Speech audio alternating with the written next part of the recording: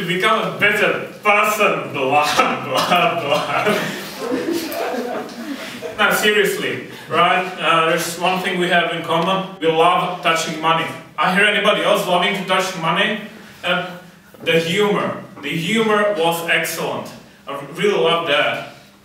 Uh, when I first came to Toastmasters, I saw Ryan speak, and I wanted to emulate the way he stands here, his style, his poise, uh, the way he works with his voice.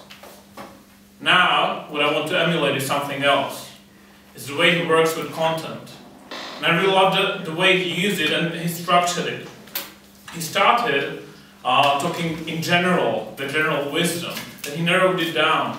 And he started from jokes to capture our attention. Then he gave us a story, local story, uh, the Siemens story. Then he gave us uh, examples uh, from a job portal that I personally use, so to me it was very relevant. He, he showed me how in my own world what he's talking about is real. Then, on top of that, he showed me it's a general trend.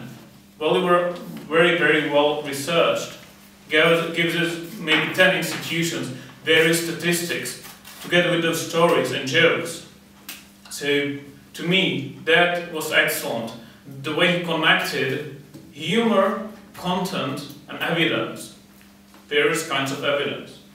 Now, and on top of it all, he gave us a number in Czech crowns here. Well, to me that is relevant. It's not some statistics about something uh, the UN thinks about should be done in the third world. He gave me a number here in Prague in Czech crowns for me. I like that.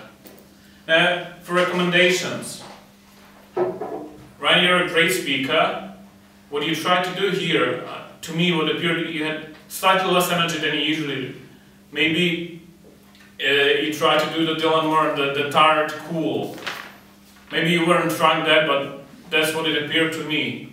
Maybe you, you, you could use a bit more smile. You did smile when you told your jokes, but apart from that, you looked like maybe you didn't want to be here, but maybe you did not.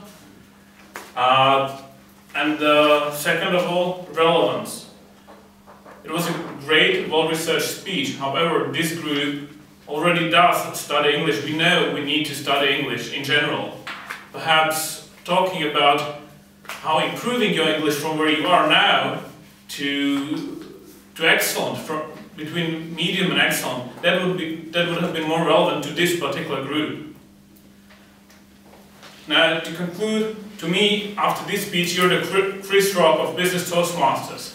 He tells great stories, he, he makes everybody laugh, but at the same time, he's talking about things that are very relevant to the community, and he talks about great social problems, and he knows about them, and he's the one who does the, he gives it the meat with great humor. So thank you very much for that, Mr. Toastmaster.